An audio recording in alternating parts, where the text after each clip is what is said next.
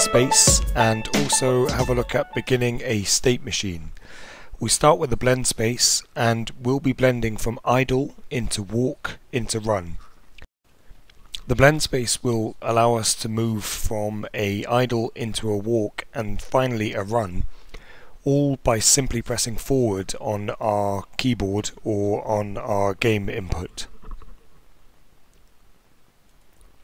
So if we first double click on our blend space and open up the blend space window then we'll be able to load in the necessary animations and place them along our blend space timeline. Okay, so currently I have access to nothing because um, I'm not in the asset browser. So here's all of my animations and what I want is I want idle on the left, walk in the middle and run on the right. So if I get my idle and drag it down here, there's our idle and now we'll get our walk.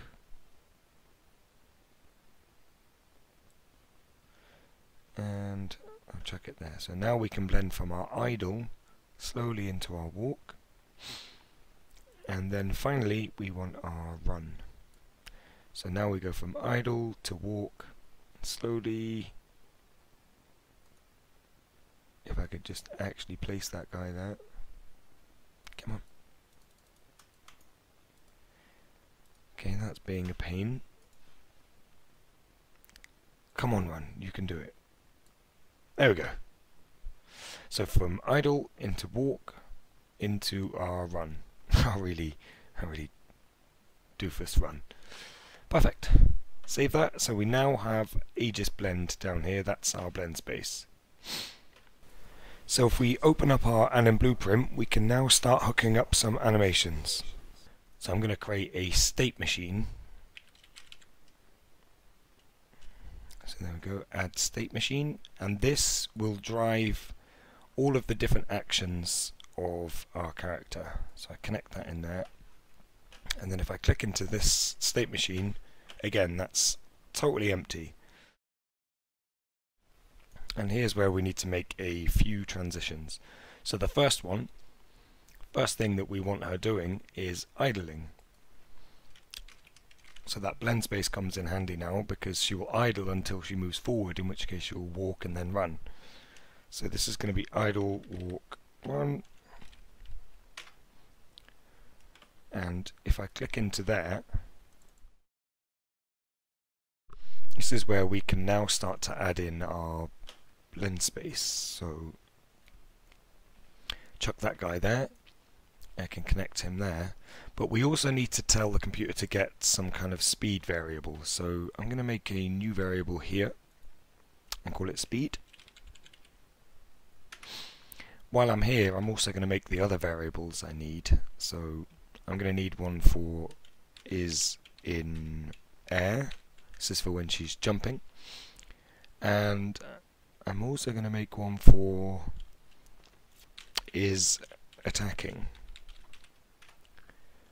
Now this speed needs to be a float variable instead of a boolean so I just select it and in the details column here change that from boolean into a float. And now I can chuck this guy in plug him in and when I compile that it will be driving the uh, the blend space. So now we have our idling. So the next step is to make our jump start.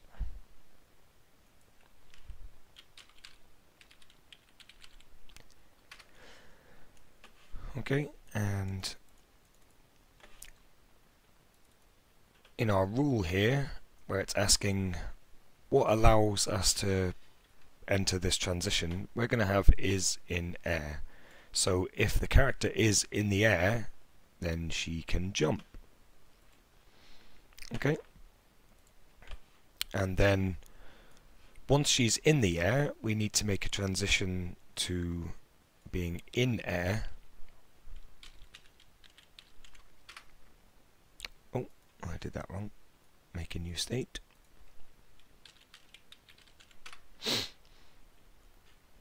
And we're also going to need another for landing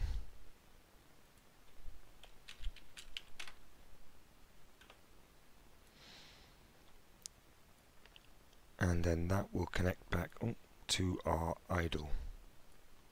Okay, so let's have a look at the rules here. So once she started her jump, she is then allowed to transition into the peak of her jump. So it's the same thing again. Is in air, yes. Then she can transition into the next phase, which is this part.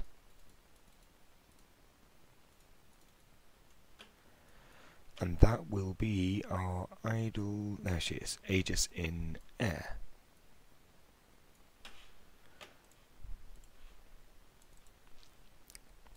So now, when when she when we trigger jump, as soon as she is in air, it will allow the start of the jump.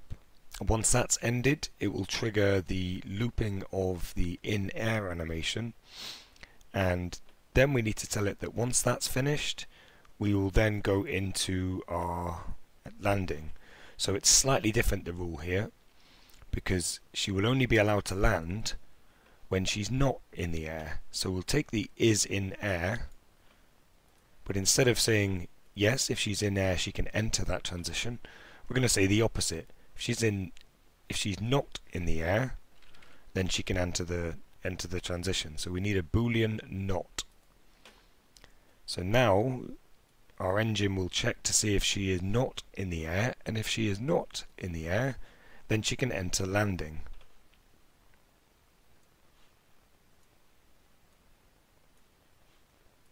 Okay, I best compile all of these things.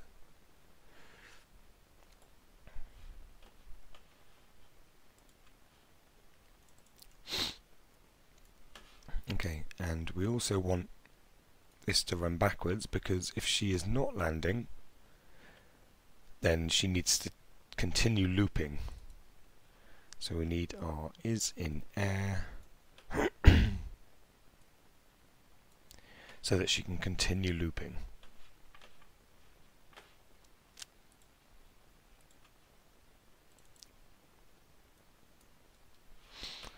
Okay, so now transition back into our idle uh, state, it's a little bit more complicated. Um, we need the animation of landing to end before we can transition back into idle. So what I'm going to do is type in remaining and get time remaining Aegis landing. So this is going to check what time is remaining for Aegis to be landing. And then I'm going to have a less so now I'm going to have a float which is less than. So what this does is says if